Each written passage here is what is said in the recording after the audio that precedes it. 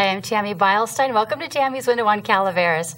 I am here today with one of my really good friends, a very smart lady, very kind, obviously. Why would we be friends? She's amazing. Her name is Laurel Jolliff, and she is an insurance broker. And she's going to talk to us today about Medicare, which I know nothing about. So be ready for very basic, simple questions like, what is it? Hi, Laurel. Thank you for being here. You bet. I'm Thanks glad you came me. to to help explain to us what Mm-hmm. it is. Like, I seriously, I wonder th- the difference between Medicare, Medicaid, Medi-Cal. All these things confuse me. Great. Okay, Perfect start. tell Perfect us what it is. A lot of people getting confused. okay. So Medicaid is uh, a federal funded program for low income. Okay. Medi-Cal is Medicaid's version for California. Okay. Okay. They're the same thing. They are Medi-Cal and Medicaid are the same thing. Okay. Medicare is completely different. Okay. Okay. So Medicare is, uh, you know, when your whole life you've been paying your taxes, you've been paying into Social Security. Well, part of the benefit that you're paying into is Medicare. Right. And so that takes care of you when you're older. So basically, when you're 65 and you have uh, Medicare, you get Medicare Part A and Part B. Some people with certain disabilities that are under 65 also qualify for Medicare. Okay. That is if you have a kidney Disability. failures or disease. Uh, Not necessarily just kidney, but it's Okay. but a lot of uh, permanent disability. Okay. If someone's on Social Security disability income, Okay. if they've gotten that for a couple of years and they qualify 25 months later for Medicare. Okay. So the So- other is there's no age requirement. It's only income. Medicaid, yes, that's Medicaid, correct. Only an income requirement. Uh, you cannot go above yeah, a certain, certain amount. levels. Yeah, Medicare is the age requirement, but no, it doesn't matter what income you have. correct, Okay. correct. Okay. As long as you've worked 40 quarters in this 40 country. quarters. Oh, God, that's 10 math. years. Okay, thank you. 10 years. Forty quarters. One, two, three, four. So 10 years, if you've worked 10 years of your life Uh-huh. and you've paid into the Social Security system, then you qualify for Medicare Part A and Part B. Okay. Okay? Now this A and B talk. Okay. So Part A is hospitals Uh-huh. and then a few other things, like hospice and among other things. And Part B is doctors and then a few other things. Okay. Okay? Medicare Part A and Part B are covered 80%. They both have deductibles and, and copays, but the object of the game is to find something that works with your Medicare to get it to where you have 100% coverage. Why are they separate? Why is there an A and a B? That's a great question, and I don't know that answer. Hmm. Okay. But you can buy both A and So, B? So part A, if you've worked 40 quarters, Uh-huh. is free. Oh, okay. Okay. If you haven't worked 40 quarters, and if someone comes over here and uh, they didn't work the whole 10 years, but they want to get Medicare, they can pay extra for it, or they can continue working until they completed their 40 quarters. So Part A for the for the most common person, okay, for those of us who've worked 10 years or longer, Right. uh, Part A is free. And then Part B this year is $134, and that's per month. Wow, okay. And so you're going to pay for that in addition to what you've paid for those 10 years. Okay. Okay? But if you don't have an income, that's a lot of money. Right. Right. And so people who are just on Social Security, mm-hmm. they definitely would get the A and the B Right. because that's 80% of your Okay. medical bills paid for. Mm-hmm. And then, like I said, there are Medicare Advantage plans that you can work alongside Medicare or a Medigap plan that you can work alongside Medicare I've that covers the other 20%. Heard of Medigap. Yeah. And so, kind of a gap insurance, it t- covers after the 80 and before the 100. So, if Medicare covers 80%, Uh-huh. then this Medigap plan, or Plan F, let's say, there's, there's several, but Plan F covers the most of that gap. Okay. So, if you had a Plan F and Medicare, then you'd be covered 100% for hospital and doctors.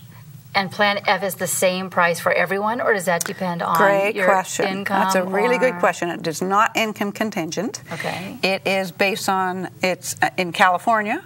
It's based on your age and your zip code. Why does that matter? It just does. Cost of living, uh, population, how many people are there. And so Well, you know what worries me about the zip code in our area? We have a tough time finding doctors. we do. We do. It doesn't mean your doctor has to be there. It just means where do you Oh. reside. Okay. You can go to a doctor in Tuolumne or Amador, Okay. Uh, but you live in Calaveras, and so that's the, the zip code that we would use for you. Okay. Oh my goodness. Okay. And then there's Medicare Advantage plans. If you didn't want to get, get a Medigap plan, you can get a Medicare Advantage plan. Those are county driven. And so that means that Amador has one for 2017. Amador has one. Calaveras has one for 2017 and 18. And Tuolumne has none. They don't have any Medicare Advantage plans. Why is so that? they only have a Medigap plan as an option. I don't know. So every county has a choice? Every county has a choice. San Joaquin County has seven, Stanislaus has 11. Who decides that? Uh, federal entities mostly, but private insurance companies are the ones who run them. Do most people know that this stuff goes on? Because I had no idea. Well, you, you become much more interested when you're 64. I bet, yes, I bet you, You know, do. a lot of people Wow. when they're 60, they call me and they go, "Okay, I, I got a few years. What do I do?" Oh my goodness. And I say absolutely nothing until you're 64. Yeah. And then you start paying attention because everything changes. Oh my gosh. So once, they're probably jumping way ahead, but once people set themselves up at 65, Mm-hmm. Are they set then until. You can change, and, and yes, they're set for the most part. Um, there are things that you can change every year depending on your needs. For example, there's also something called a Part D, which is the drug plan. So your drugs are not included in no, your. Oh no, my gosh. drugs are not included in the Medigap plan, nor are they included in the A and B, because it's D. Why not? If you're going to the doctor, you need your. Prescriptions, right? I know, and those are run by by uh, independent insurance companies, and they're administered by to, you know with physicians and and pharmacies, and and they change every year. Now, here's the biggest deal, though. Part D, excuse me, Part D. There's a penalty. It's a voluntary plan, but there's a penalty if you don't get it. voluntary plan that you're penalized if you don't have. No way. Mm-hmm. I talked to someone yesterday. Son found out that mom, who's 82, has never had a drug plan, and now mom needs one. And I can I can sign up mom up for one after October 15th because that's their annual election period. And it won't start until January 1st, but she's going to pay over $40 a month more for the rest of her life because she didn't have it Oh no. in 2006, or 2006 when Part D was first implemented. So she's punished She's punished. for the rest of her life. so the son was not happy. And he says, Why That didn't I know not this? right. And so the answer is the, the, that Part D penalty information is in the book that people get every year. It's called Medicare and You. And every Okay. year they get a new one. Whether or not they open it is another question. My mom is the only one I know that's read it. it's true. Um, but I say hold on to it, read it. yeah. I think it's page 90 of, that, of this year's book that talks about the penalty. Page 90. Page 90. Okay, I was hoping it was like a little 10 page Oh no, it's a big book. Oh, well, God. it's a it's probably 150 pages. No wonder people don't read it. Right, right. It's it's it's kind of overwhelming and kind of daunting, and and a lot of people go, I don't understand this, and so what I do, And when you're 65, you need Yeah. the, the type to be this big. yeah, and, and it, by law it has to be a 12 font and, or Oh, larger. God. Yeah, yeah. Who do I talk to about this? Is it, that is so wrong. Thank you for asking. That would be me. I mean, the whole the whole setup know, is wrong. I know. I know. No, truthfully, what I tell folks is I don't speak Spanish. I speak Medicare because it's a foreign language. Yeah, it sounds and, and, I mean, it. and it truly is. Uh, it just, you know, people don't know what they don't know. You know, they don't want to pay a penalty. They don't want to be stuck with something. right. Um, Well, it so sounds like stuff you don't even want to start to know. It is just that's why I say stressful. call me when you're 64 and a half. Wow. Yeah, They unless you're you taking this, care of your parents. They send you this book when you turn 64. Every year you get a new book. Yes. Starting at 64. Starting at 65 when you when you become eligible for Medicare. God, Yeah. I'm not looking forward to that. You have my number. That is so. Yeah. It's it's it's tough. It's it's real tough because some of these folks are older. In- In fact, my, my kind of joke is, you know, the, the one who gets most upset about this is the 65 year old. They go, this is ridiculous. You know, who reads this stuff? Yeah. And I say it's the same information when you're 88. That's crazy. And that's what's hard, is when that person who might have some challenges yeah. are, is trying to understand what their rights are, what the penalties are, what the deadlines are. well, and they're not going to get themselves out of the house and drive to see you Right, right. to figure all this stuff out. Right. That doesn't make any sense. Mm-hmm. I take care of a lot of people on the phone, Yeah. do some phone appointments. I go see people, you know. Oh, man. Laurel, I didn't know all this goes on. That kind of Yeah. ticks me off. Yeah, it's kind of crazy. Yeah, Mm-hmm. it is. It is. Okay, so someone turns 65. They get this stupid book in the mail. they have to figure out what they need. Yeah. They're going to need the Part D because you're going to get medications. Mm-hmm. You have to have the Medicare for sure. The A and the B, Mm-hmm. probably. They call you to make an appointment. Where you're in Valley Springs? I'm in your Valley office? Springs, yeah. Okay. Are there a lot of people who do what you do?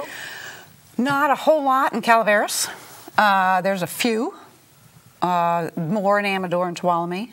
I take care of. I'm licensed for the state of California and Nevada and Arizona, but uh, California keeps me busy. Yeah. Um, I take I have a lot of people in the valley, as well as the foothills. All right. And so there, there are, you know, there are many of us in the in the city, Yeah. and in the valley, uh, but in the foothills, there's, there aren't as many of us. Are there many people at 65 who still have insurance through an employer? When Yes. you retire, this probably is a really stupid question, but I've never thought of it. When you retire, can you keep your insurance from your employer? so that's can you a pay? great question. It depends on the employer. Okay. So I have uh, uh, uh, employees from a few different school districts up here that um, the, some school districts say even though you turn 65 and you become eligible for Medicare, you aren't able to take it while you're employed, while you're working full time. Okay. And so that means they're required to stay on their plan, and that's okay with Medicare as long as you have credible coverage. There's a mm-hmm. lot of laws and a lot of restrictions and rules. And so you just have to pay attention. And so the first thing I do is say, call your HR department. Okay. It's up to the employer as to what their rules are. Hmm. Oftentimes, when once you turn 65 and you're eligible for Medicare, some employers say, "Well, you can stay on, but you know your premium just doubled." Oh. because they don't want you on their plan because you're expensive. Oh. Their risk oh. goes up when you get older. Some Well, do, not all. Okay, I thought of that. Okay. But now, truthfully, I know people who have spent $1,000 a month on their employer coverage thinking they're, they're getting a benefit because they mm-hmm. earned it. And, it. and it was fantastic until they mm-hmm. turned 65. And then it goes way up, and they have no idea that they can go to Medicare and pay $300 a month to mm-hmm. get 100% coverage. And the doctors around here will, eh, they take that. Great question. Medicare? So, if, so 93% of doctors nationwide take Medicare. Oh, really? Mm-hmm. I think more of them probably up here than than the 93% national average. Now, why did I think that they don't? Or am I thinking of the Medi-Cal? Medi-Cal, yes.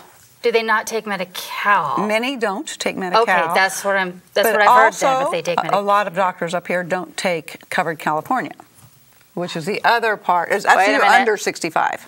What's the difference between? Oh my God! So okay, so covered California is in health insurance for someone who's under 65 and not on Medicare. So you and I, if we don't have employer plans, Uh-huh. we have individual plan, and that can go through covered California. Okay. And the question is whether or not there's a benefit there. If, if your income is low enough and household size is such that you qualify for some premium assistance, which is not Medi-Cal, that's why you, you get confused because it's easily understood, misunderstood, then you can take a covered California plan between November 1 and January 31 Okay. only. Okay. So it's the in between, the low income It's the middle. yeah, correct. And then the okay. So Medi-Cal is up to a certain number Mm-hmm. financially, and then you have covered California Okay. until you're 65. Okay. And you go to Medicare. Like your job? I love it. I do. I help a lot of people. oh my god. That's pretty cool. Yeah. I'm so stressed out just listening to this. You poor thing. Okay. Well, actually, and so it's funny that you say that. Instead of you stressing out, what's important is just know who to call. Seriously, and if it's Yeah. not me, call someone that you trust, that that takes care of, you know, this kind of insurance, whatever you need. okay. Just know their phone number. That's all you need to know. So tell us about your your education.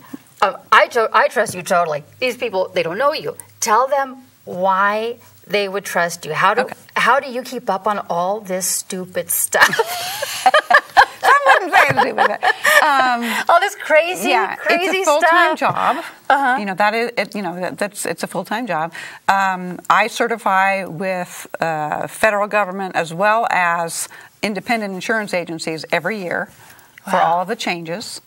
Uh, now, let me let me say a disclaimer, if you don't mind. I do not work for Medicare. I'm not employed by Medicare. Um, and nor am I employed by the federal government. I'm Okay, an independent, independent. insurance broker, and I am contracted with Blue Cross and AARP and United Healthcare and Blue Shield and Health Net and Aetna and, and on and on and on. But you have to prove to them that you know what you're doing and that you understand. Yeah, oh yeah, they want to see my licenses, my Right. certifications every year. Okay. Yes, and so every year I uh, become educated again. Wow. yeah. Yeah, as well as you know, every other year for the state of California, you know, we get to redo our licenses. oh my gosh. But I do like it. You, you're so weird. I know I am love you. weird. This is true. I am weird. oh my goodness. Okay. So, what else should we know about this Medicare coverage? About the insurances? What What are the things that people most are, are most commonly confused Okay, about? great question. I'm so glad you asked that. So, number one, um, when, if you're 64 and a half and you're not sure if you're going to be, be receiving the, your Medicare card or Social Security, then call Social Security and make an appointment with them. You can do it online, but to me, it's important enough to what you want to go to the office and make an appointment. Do we have an office here in Calaveras? Uh, No, no. There's one in Lodi and there's one in uh, Sonora. Okay. Okay. Um, so make sure you know what you qualify for. That's the that's the first big deal.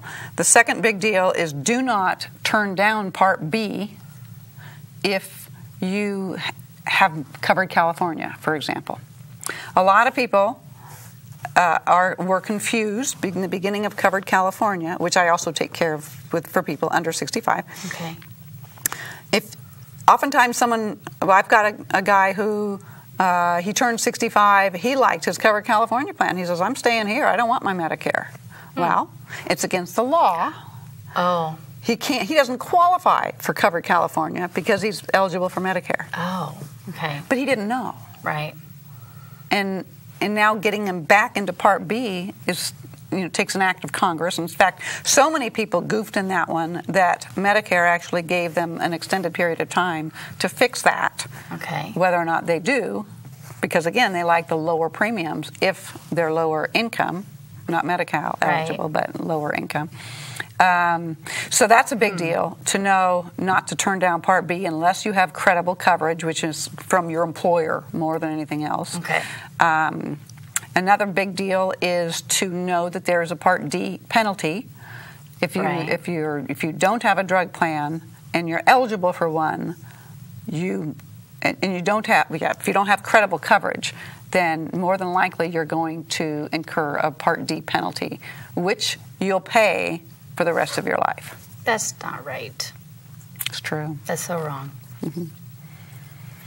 Finally, Okay. uh, on the covered California side or under 65 side, people need to know, eh, you know, if they don't want to pay their premiums, they say, well, I'll just cancel my insurance. Well, they don't know that they, A, can't get insurance again until November 1st. And so you can't just get it any time. And so between November 1st and January 31st is the only time of the year that you can add health insurance for someone who's under 65. Okay. Okay. Um, as well, you're going to be penalized for the months that you didn't have it. Okay. And then finally, if you have an emergency room visit, the average cost of that is 15 grand. But isn't it true that they don't turn anybody away? They don't turn you away. That doesn't mean they don't bill you. You get to pay for it. But if you don't have the money, They're not going to turn you, you away. They're going to take care of you medically, and then they'll send you a bill, which is not subject to bankruptcy laws. oh, Medical bills are not. okay. So some of the new things that I remember changing not all that uh, all that long ago. Kids being on the um, insurance plans until they're 26. Is that going to Mm-hmm. Hang still the same for around now. Mm-hmm. for a while? Okay. What other changes do you see coming? Or is it is that going to be around for a while? Do you see that changing? Um, well, the bigger question is Affordable Care Act going to be around for a while? oh, okay. Okay. Um, Congress is talking about, and there's a lot of you know controversy over whether or not we're going to eventually go to a single payer system. We meaning the state of California, and or we being the, the, the United States. Mm-hmm. If we go to a single payer system, it all changes. And what I, what people don't realize is if we do go to a single payer system, Medicare is included in that. So a lot of people who think, well, wait a minute, I paid my taxes, I paid into the Social Security system, it's my money. Mm-hmm. If we go to a single payer, that Medicare money goes to a single payer. Ooh. That's who's going to help pay for it. And a lot of people don't. They all, they think that Medicare is excluded from that Yeah. single payer. Yeah. But it's Medicaid or Okay. Medi-Cal. It's all of Affordable Care Act. It's all employer plans Wow. and Medicare. Single I payer. think I one. assumed it was separate also. Right.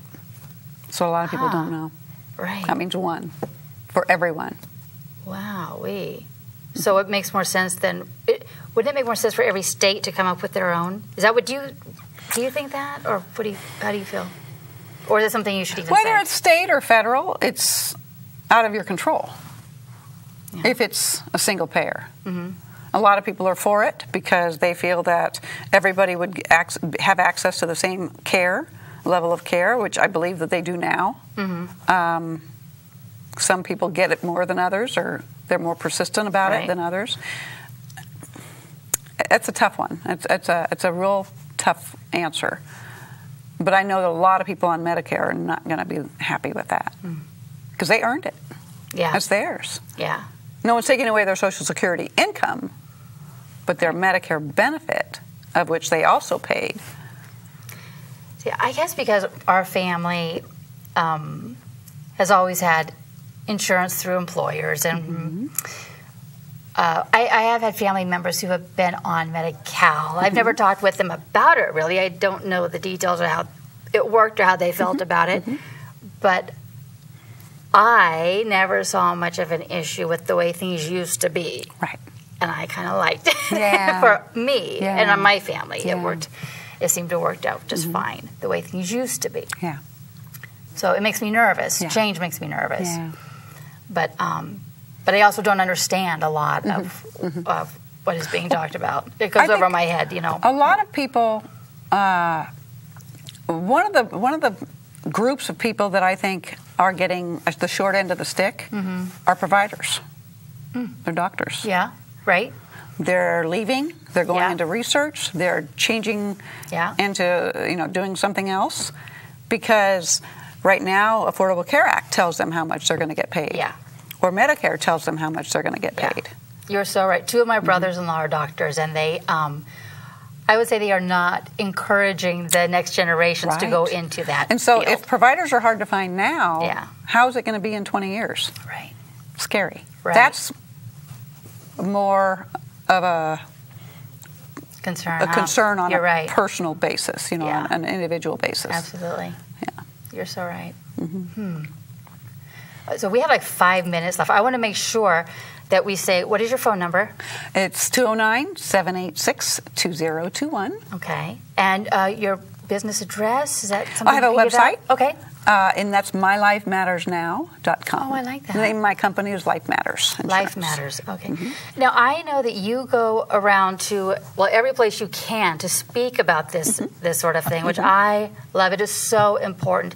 And I got to tell you, if you find out that Laurel is going to be speaking anywhere near you, go see her because um, I joke that the, the things she's talking about are over my head. They are because I, I just ugh, I can't stand math and and all of this stuff is just I'm not ready for it yet. I don't need to be ready for it yet, so I kind of just sort of pay attention to it.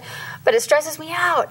And but Laurel is entertaining to listen to, and is if you're going to have to listen to this sort of talk, um, you want to hear it from Laurel because you do keep our attention when you do speak someplace. I do listen to you, and you do make sense. You don't talk down to anybody, but like I said, this stuff is like whoo, it's so over my head. But I do understand you when you talk with with me, and I know that all of all of these Well, people I would really understand try you too. to slow down my. I mean, I, am a fast talker. You just are. Like, you know, yeah. And you Um, and you move too when you're I- when you're not kinda do, sitting down. Yeah, you're on yeah, the move. Yeah, I'm going. uh, however, I, I also know where a 75 year old is. Yeah. And they're going, well, you know, Yeah. and so I, I really try to uh, not talk down to them by any means. Uh, but I will slow down a little bit, quite a bit actually. Yeah. Because it's just a language that they're not used to. Right. I'm going to Italy next year, and I'm going to be petrified of speaking a different language, not knowing what they're saying. Uh-huh. And I'm going to need them, even though I'm going to study the language, Right. I'm going to need them to speak real slowly. Right, Because right. I'm just learning. And that's Yeah. how I feel about how the person on the other side of the Yeah. table is. You are so good at me. that. You're so good Well, at that. thank You understand who you're speaking with. I and, try. Yeah, and you relate to that person. You're really great at that. I try. You, yeah, you're great. So if I were um, needing somebody like you, I would trust you 100%. And and I would seriously encourage any of you to go and call Laurel. Um, and if she's not near you, I still would call Laurel and ask her who she might recommend you to go Yeah. talk to in your area Yeah. because um, uh, because you're, you're just fantastic. and I know you know what you're talking about. Thank you. I try. I try. Yeah, you're great. One thing that makes me different is I There's a lot the- of things that make you Yeah, different. That's true. Yeah. I answer the phone. yeah. I return calls. Yeah. I, re- I answer emails. You do. You care. I, I mean, I do. You absolutely care about people. You're fantastic. Uh, we are out of time. Can you believe that was a half hour? It. That was so fast. I know. We need to do this again because you still have so much to teach us. We will like pick one Yeah. thing to talk about Sure. and we'll stick with it and Sure. we'll go like down the list so we can explain go. to everybody what they need to know. We'll have a Thank regular you. series. Thank you. You're welcome. for being here. I hope you guys got something out of that because Laurel's fantastic. Please call her and find out all you need to know. Thank you for being here. Thank you. Thank you guys for watching, and I'll see you next time on Tammy's Window on Calaveras.